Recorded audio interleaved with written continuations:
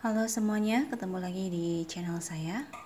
Kali ini saya akan memberikan tips ya, bagaimana cara menyuburkan tanaman dengan limbah dapur sehingga limbah dapur yang ada tidak terbuang sia-sia. Nah, teman-teman, ini adalah cangkang telur yang sudah tidak terpakai, sisa pemakaian di dapur uh, telur ini sudah saya cuci sehingga tidak ada lagi bau amisnya sudah bersih seperti ini. Kemudian kita jemur sampai kering.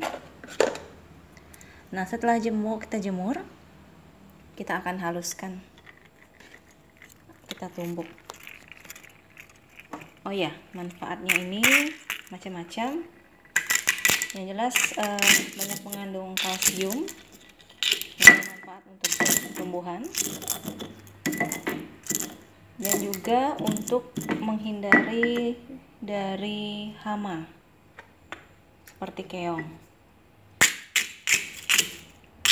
Jadi caranya gampang sekali. Setelah cangkang telur ini halus kita taburkan aja langsung di sekitar permukaan tanah atau permukaan metan tanaman kita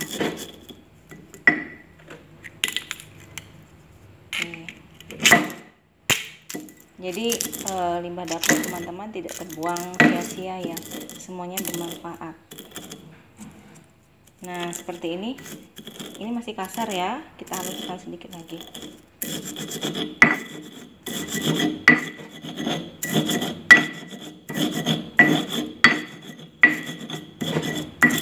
Nah, kalau sudah halus kira-kira seperti ini ini sudah bisa kita pakai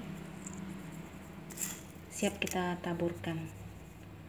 Semoga tips ini bermanfaat untuk teman-teman pencinta berkebun. Jangan lupa komen like dan subscribe. Terima kasih